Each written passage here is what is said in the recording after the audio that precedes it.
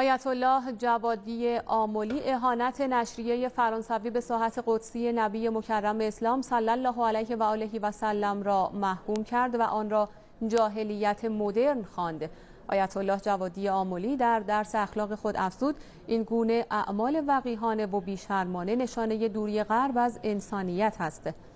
آیت الله مقتدایی دبیر شورای عالی حوزه های علمیه نیز حد که حرمت نبی مکرم اسلام به بهانه آزادی بیان در یک نشریه فرانسوی را محکوم کرد.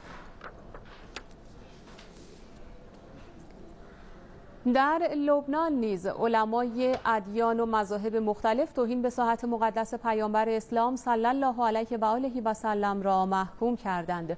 علمای شیعه، سنی، دروزی و مسیحی در همایشی که به مناسبت میلاد پیامبر صلی الله علیه و آله و سلم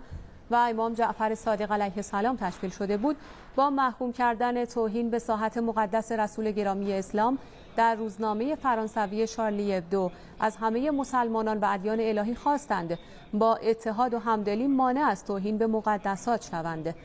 در ترکیه هم شماری از مردم با سر دادن شعارهایی بی احترامی به پیامبر مکرم اسلام را